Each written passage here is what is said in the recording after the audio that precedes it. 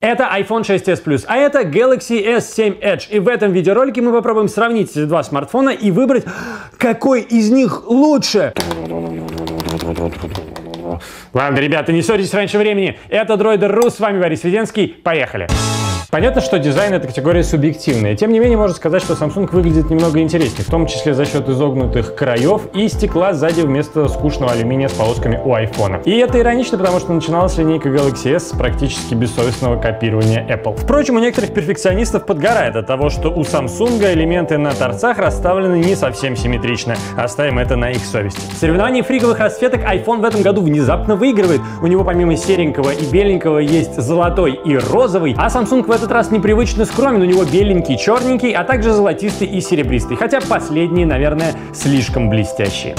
Понятно, что практически все циферки в характеристиках у Galaxy S7 больше. Частота процессора, оперативка и разрешение, разницу в котором вы, конечно, не заметите. И также понятно, что все это мало связано с реальной производительностью гаджетов. В тесте Antutu оба смартфона набирают почти одинаковые 128 и 132 тысячи, последний у iPhone. По первым ощущениям работает S7 так же шустро, как iPhone, хотя со временем и с захламляемостью с Samsung случается всякое. Графика в мобильных играх уже давно мало отличается, так что здесь пальцы гнуть не будем, на самом самом деле интересны другие параметры смартфонов. На стороне Samsung следующие плюсы. Беспроводная зарядка, слот для карты памяти, который также можно использовать для второй сим-карты, это круто, и полноценный модуль NFC. Apple на это отвечает. Технологии Taptic Engine — это движок обратной связи, что-то вроде вибрации, только более няшный. И, конечно, 3D Touch — механизм, определяющий силу нажатия на экран. Батарейка по объему хоть и разная, 3600 у Samsung и 2750 мАч у iPhone, но оба смартфона спокойно живут целый день, так что здесь условный паритет приоритет. Итак, производительность смартфонов примерно одинаковая, при этом у каждого есть свои эксклюзивные железные няшки, так что будем считать, что здесь ничья.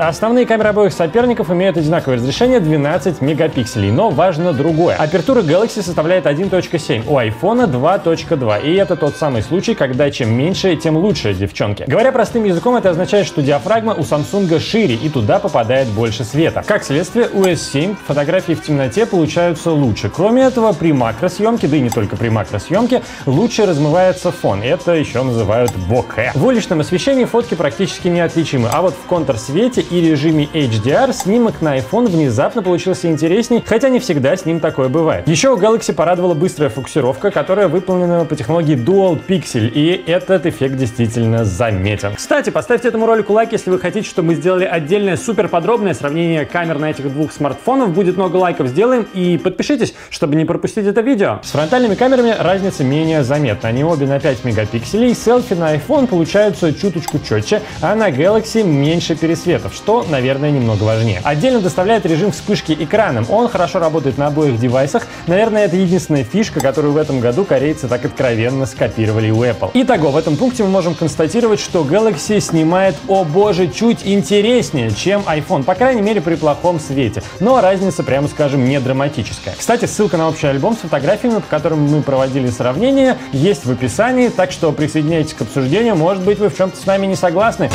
Тут сразу важно отметить, что оба смартфона имеют одинаковый по размеру дисплей 5,5 дюймов. При этом Samsung лежит в руке лучше, намного. Прежде всего потому, что он тупо меньше размером, как в ширину, так и в длину. Но далее сюжет становится куда более закрученным. Во-первых, загнутость дисплея S7. Это скорее баловство, чем реально полезная вещь. По флангам дисплея периодически происходят случайные нажатия. Это может быть жутко неудобно во время съемки фото, потому что не будет срабатывать кнопочка спуска, или когда вы тянетесь в Твиттере до кнопочки назад. Помимо этого, надо понимать, что края интерфейса во всех приложениях от вас уплывают, и это далеко не всегда круто, хотя некоторым нравится подобный 3D-эффект. В целом от этого дизайнерского приема у меня ощущение как от девушки, надевшей 10-сантиметровые каблуки. Внешне может выглядеть эффектно, но по сути несчастно испытывает боль. И да, девчонки, ставим лайк, вы же отлично понимаете, о чем я. Еще одна странность — повышенная чувствительность дисплея. Ее сделали меньше, чем в прошлогодней линейке S6, однако все равно это ощущается достаточно странно и непривычно по сравнению с другими смартфонами. Понятно, что сделано это ради нас с вами, русских людей, которые на морозе в перчатках вызывают такси на смартфоне, но если ты попробуешь обычными руками набрать текст, то это не всегда очень комфортно. Некоторые нажатия будут восприниматься просто как свайп. Про iPhone так много не расскажешь. Он большеват и тяжеловат, хотя это причиняет не меньшее неудобство. Кстати, удивительно, но сенсор отпечатка пальца на обоих девайсах работает одинаково быстро. В целом можно сказать, что оба девайса не до конца удобны и каждый по-своему. Не будем устраивать холивар Android против iOS, хотя, конечно, хочется. Тем не менее, Galaxy S7 Edge работает на Android 6 Marshmallow, поверх которого положили оболочку TouchWiz. TouchWiz выглядит человечно, хотя в некоторых юзабилити мелочах уступает чистому Android.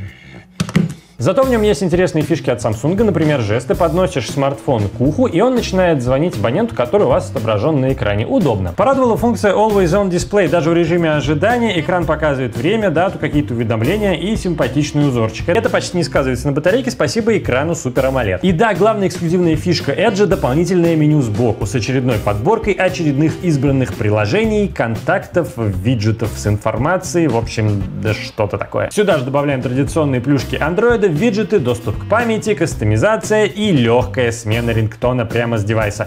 Это самое главное. Ну а про iOS вы и так все знаете. Более лаконичный интерфейс, функция Continuity, в общем, более тесное взаимодействие с Mac и раньше выходящие приложения и игры. Это немаловажно. Да, боюсь, это добром не закончится и, кажется, я уже слышу, как вы набираете злобные комментарии. Кстати, проверьте комментарии других пользователей. Вдруг они написали какую-то откровенную глупость, им обязательно надо ответить.